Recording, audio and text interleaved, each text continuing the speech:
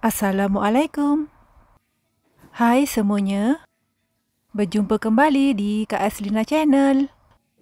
Kali ini saya hendak kongsikan resepi acar timun nenas yang sangat simple. Sememangnya sangat-sangat mudah untuk menyediakan resepi ini. Jom saksikan bersama-sama sehingga selesai. Mula-mula saya akan sediakan timun. Saya guna timun separuh saja. Saya akan belah empat ya timun ini. Kemudian saya akan hiris-hiris timun ini semuanya. Hiris-hiris tak tebal dan tak nipis. Sedang-sedang sahaja. Kalau hendak ditambah lagi timun pun boleh juga ya. Kena pastikan ya timun tidak pahit. Kalau terguna timun yang pahit, resepi ini tidak akan sedap. Jadi kena pastikan timun tidak pahit ya. Saya juga akan gunakan timun yang masih baru. Kalau terguna timun yang sudah agak layu pun tak sedap juga. Saya akan hiris-hiris semuanya. Bila dah siap, saya akan ketepikan. Seterusnya, saya akan hiris-hiris pula bawang besar. Bawang besar ni saya guna sebiji sahaja. Kalau hendak ditambah lagi, boleh saja ya. Lagi sedap.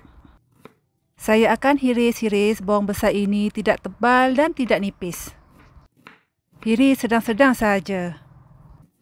Saya akan terus hiris-hiris sehingga selesai. Hirisan bawang besar ini saya ketepikan juga.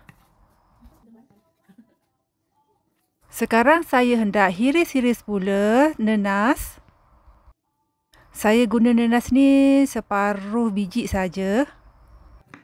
Saya gunakan nenas gula batu. Nenas gula batu ni sememangnya manis kan? Kalau hendak gunakan nenas yang lain pun boleh juga. Ikut seadanya ya nenas di rumah. Saya akan hiris-hiris macam ini saja. Hiris tak tebal dan tak nipis. Sedang-sedang juga.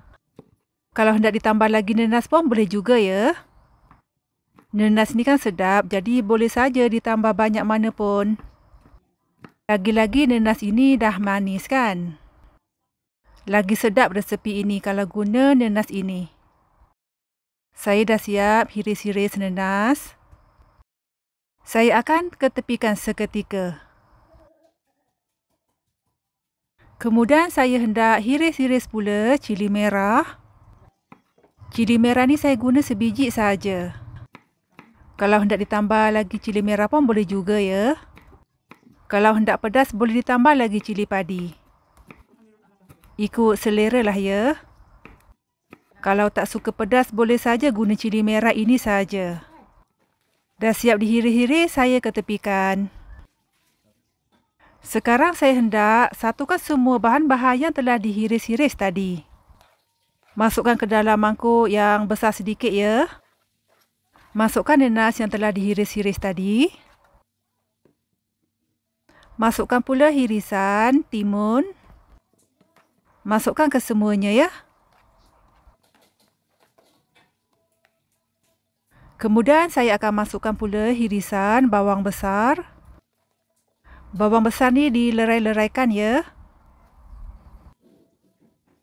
Masukkan pula hirisan cili merah. Kemudian saya akan masukkan pula perahan asam jawa. Lebih kurang dua sudu besar. Perahan asam jawa ni kena pekat ya. Kemudian saya akan masukkan pula garam secukupnya. Kemudian masukkan pula gula secukupnya. Gula tidak perlu dimasukkan banyak ya kerana nenas ini telah manis. Kacau-kacau semuanya sehingga sebati dan merata. Bolehlah ditambah garam lagi ya jika perlu. Acar timun nenas ni rasa dia kena betul-betul cukup rasa ya. Kalau tak jadi kurang sedap pula.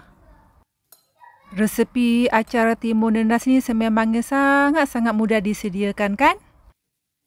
Tak perlu nak masak-masak. Hiris-hiris saja semua bahan-bahannya. Kemudian campurkan sekali. Nak lagi sedap, masukkan ke dalam peti air sebentar. Acar timun nenas ini akan berkuah sendiri. Kuah tu daripada nenas ya. Nampaknya resepi acar timun nenas telah pun siap. Selamat mencuba. Terima kasih.